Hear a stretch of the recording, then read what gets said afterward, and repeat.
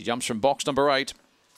She won the South Australian Oaks earlier in the year. They're ready to run. This is race number three, and they're ready.